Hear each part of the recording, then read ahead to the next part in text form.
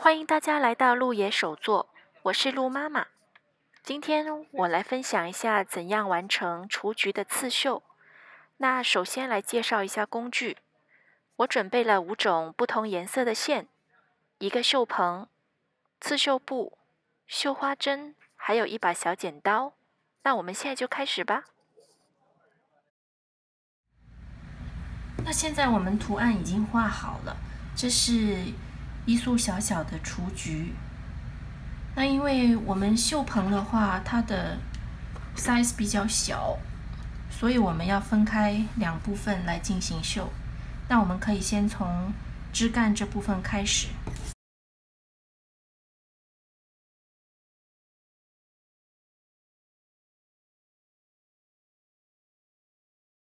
说一下线的部分，线的话呢，一般现在都是用六股线，一根是六股。那我们按照。呃，这个图案的大小来决定我们用几股。比如说这个花的茎，那我们可以用两股线。那怎么分开呢？我们可以把两股线先拆出来，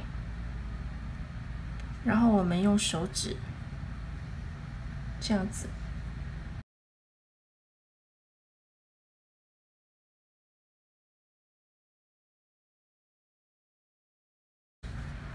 那这个镜的话呢，我会使用轮廓绣的方法。轮廓绣是怎么样呢？那轮廓绣它一般是用来绣这个茎，就是树干的部分。我们可以详细来讲解一下。比如说，这是一个点，这是第二个点，这是第三个点。这是第四个点，部分入针，第一针出来，然后我们在第二个点斜斜的，大概比这个中线的位置要多出一到两个洞的距离。第二针我们进去。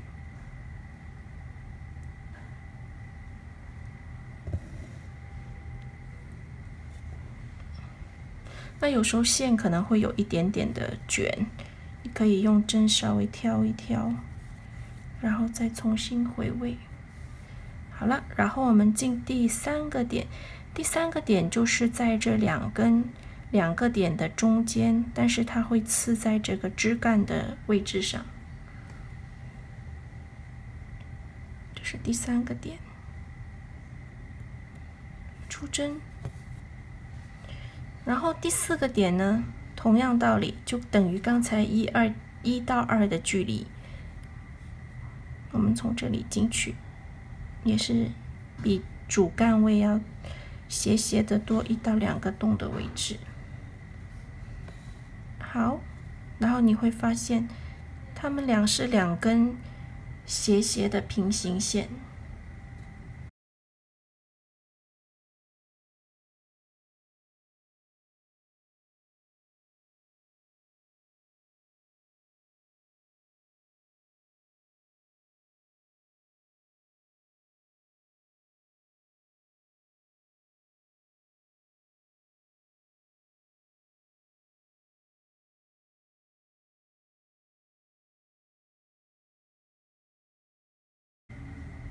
好了，那我们现在三段的竖茎都已经是用轮廓绣的方式绣完了，所以呢，我们现在开始来绣叶子。那由于这是菊花的叶子，所以呢，我们会呈现一点点有刺的部分。好，所以我专门画出来了。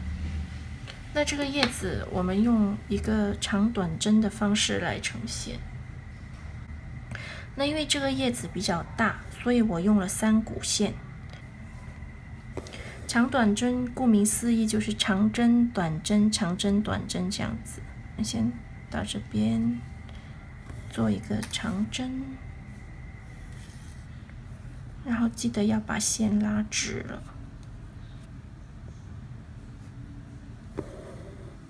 那我们做一个短针。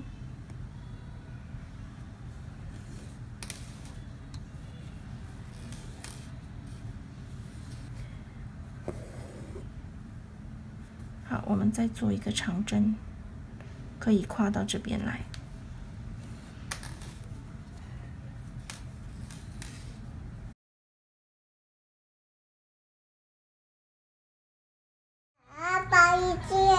那现在我们通过长短针绣的方式，两片的叶子都已经绣好了。一下。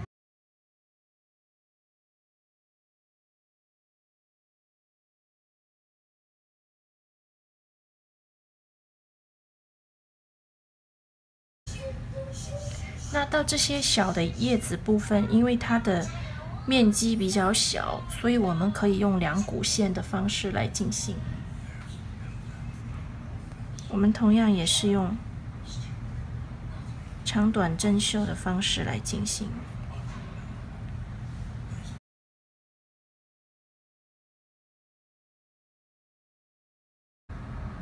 那现在大家看到我这四片。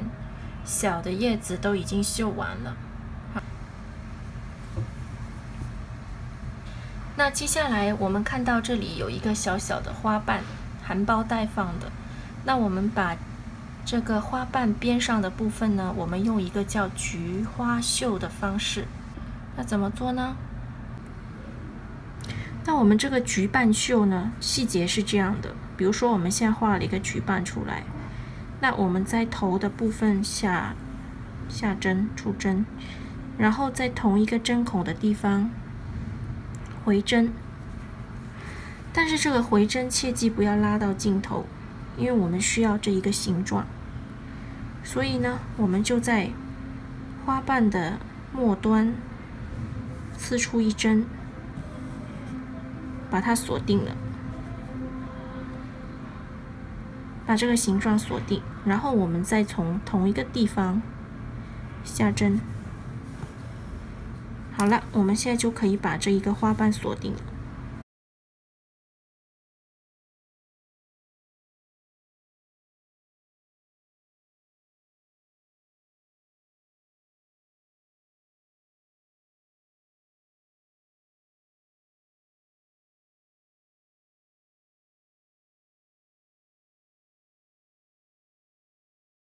好了，那我们现在叶子和茎的部分都完成了。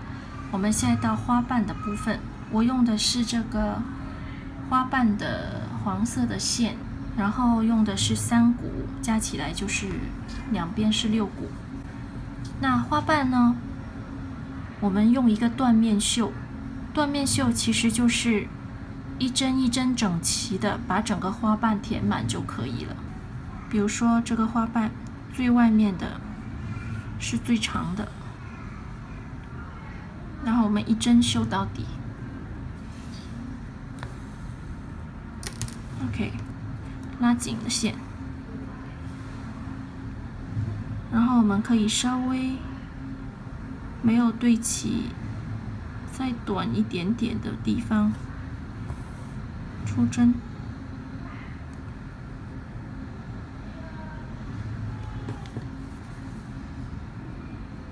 再一针绣到底，OK，然后我们到这一边平衡的刺进去。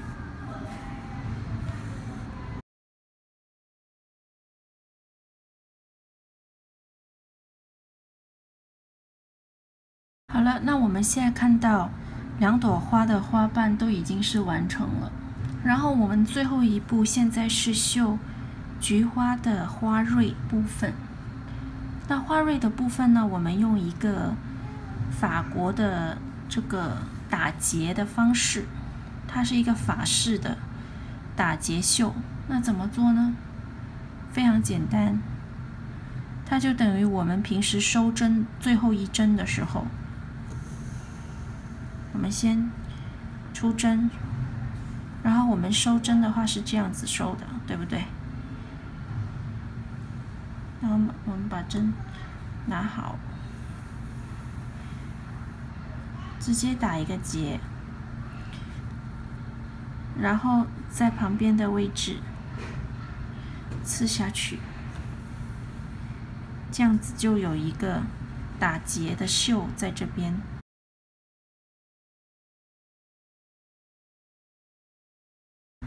好了，那我们现在花蕊的部分也已经完成了，所以我们整一个花朵的刺绣就完成了。我们可以打开绣棚。